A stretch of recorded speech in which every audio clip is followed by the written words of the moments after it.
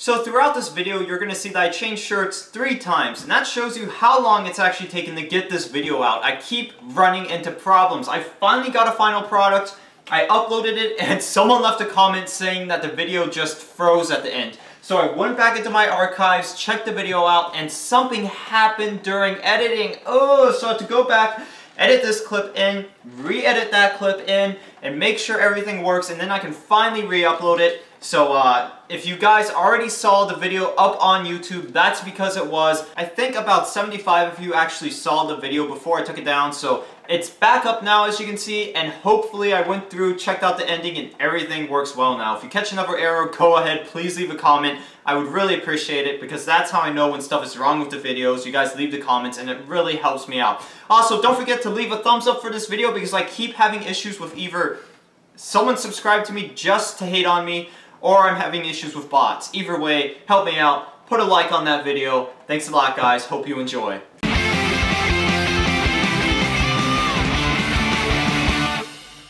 What's up guys? Welcome to another installment of AA Computers and Technology and if you couldn't tell I'm actually reshooting this section of the video so the, for the next couple minutes the lighting's to be really great, picture's to be nice and clear because I just replaced the lighting right here with a 100 watt equivalent LED light bulb uh, outputting 1200 lumens. It wasn't the highest I could get, I could get up to a 1700 lumen light bulb uh, but I thought that would be way too bright. I would be blinded every time I looked up at it. It'd be like the sun coming down on me inside this room.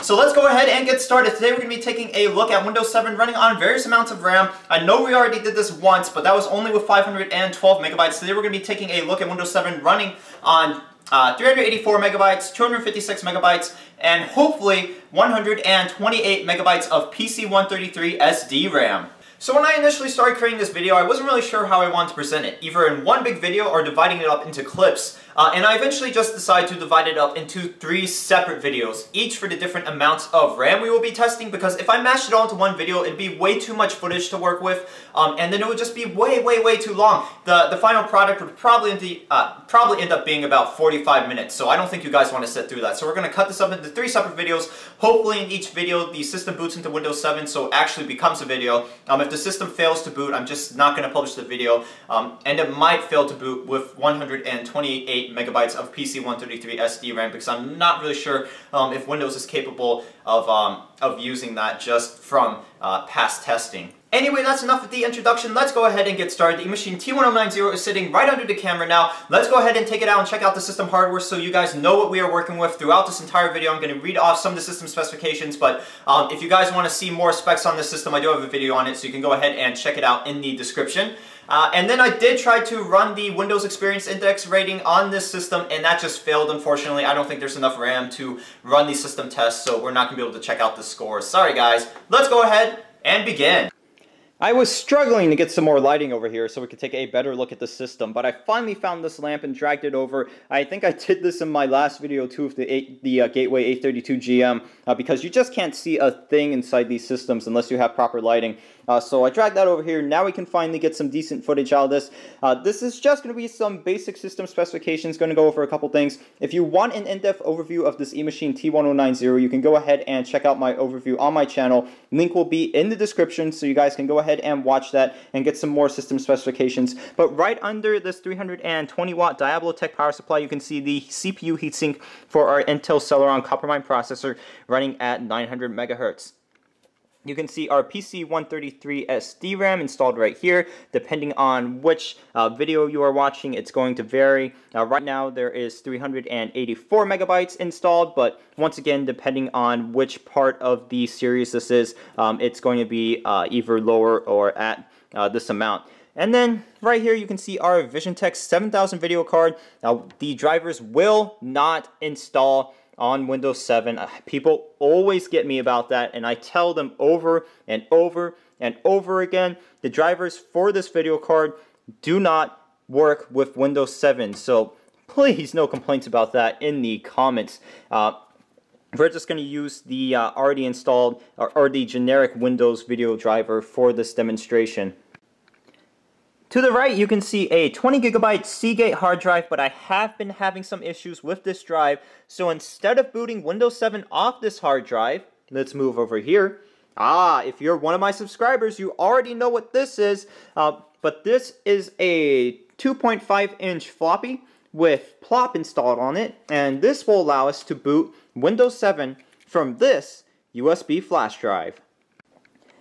At this point, we are ready to get started and boot Windows 7 off 384 megabytes of RAM. So let me go ahead and hook everything back up. As you can see, this absolute mess right here. Uh, I originally had the system set up with everything, but I had to pull it out uh, and disconnect all the cables. So I gotta take the time to put it all back together, and then we'll be able to see if Windows 7 will boot with just 384 megabytes of RAM installed.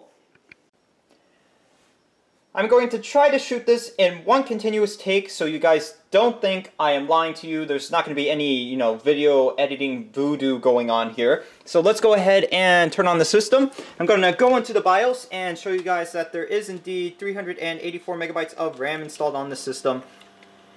And right here, if you look towards the bottom, you can see 384 megabytes of RAM are registered in the system. So let's go ahead and boot up into Windows 7. Um, I have our USB flash drive already plugged into the system. Uh, and if I didn't mention this before, uh, there is a USB 2.0 card installed on this computer because it is just painful trying to get Windows to run off a USB 1.1 port. Okay, so exit discarding changes. We're going to boot into the plop interface first. And then from here, I need to select boot from USB.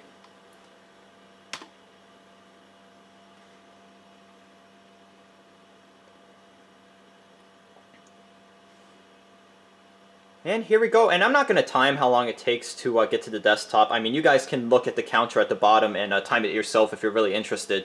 Um, I don't really see a point because I know it's just going to take forever. Um, and hopefully it doesn't extend this video too long.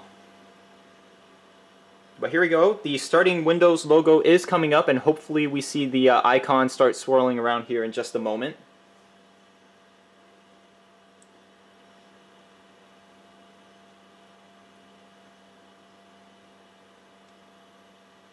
I'm not going to mess with uh, the timing on this or anything. I'm not going to speed it up uh, because I do want to see the uh, actual boot time.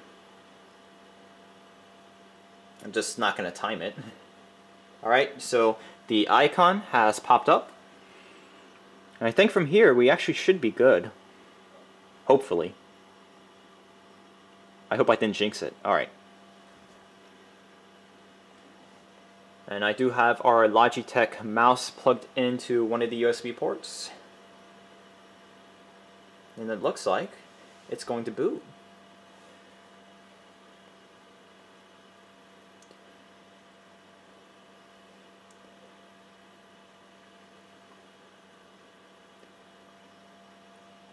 Ah, ta-da! And we are at the desktop. Not too bad. Not bad at all.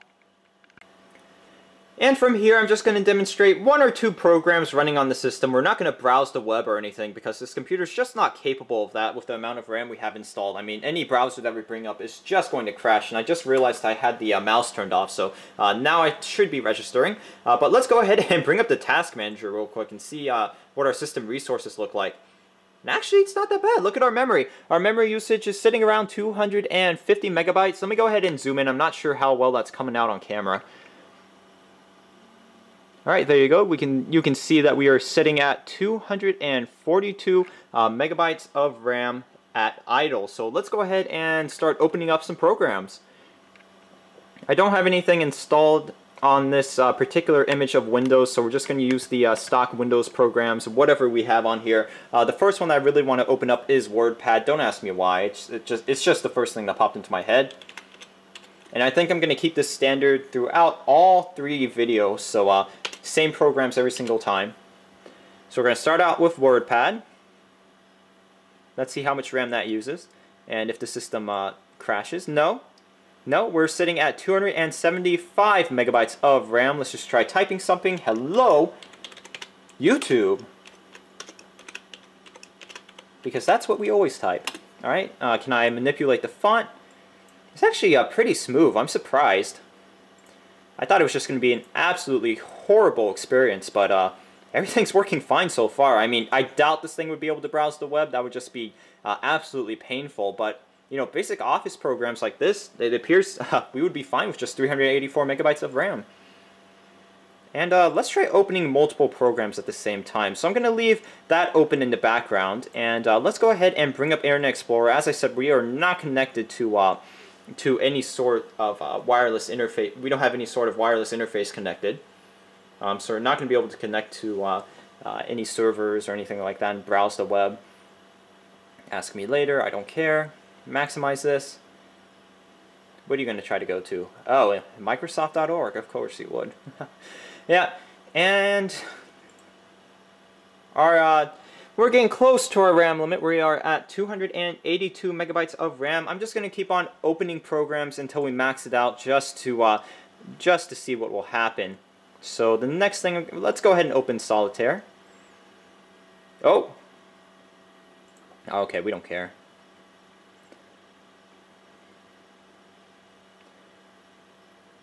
Uh, we are at 315, 16 megabytes of RAM right now. Alright, system hasn't really started to slow down too much yet. Let's go ahead and... What else would use quite a bit of RAM? How about Paint?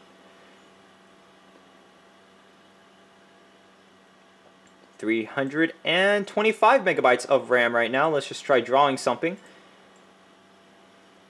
And this is absolutely nothing. I have no idea what I'm doing right now. And what else can we open up? Alright, if this doesn't do it, I don't know what will. Let's try opening up the media player. Recommended settings.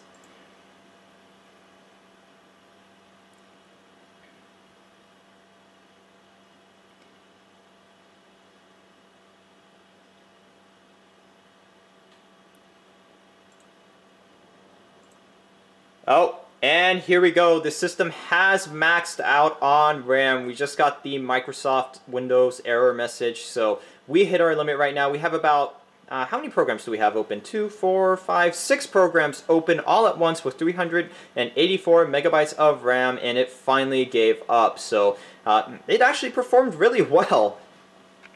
Alright, so that's going to be about it for this video. If you have any questions, comments, or concerns, just post a comment in the comments section. Please do not forget to subscribe to my YouTube channel. And of course, please do not forget to give this video a thumbs up if you liked it. Um, don't forget to check out the other two videos. I will put the links in the descriptions um, as well. And if there's a failure, you know, I'll, I'll let you guys know in one of the videos. But uh, I think uh, Windows should boot on uh, down to 128 megabytes of RAM, but we'll see about it. Don't take my word for it. Uh, go ahead and check out the next installment, uh, and then you can see for yourself if it actually does boot with 128 megabytes of RAM and then 256 megabytes of RAM. So thanks for watching, guys, and I will see you in the next installment of AA Computers and Technology.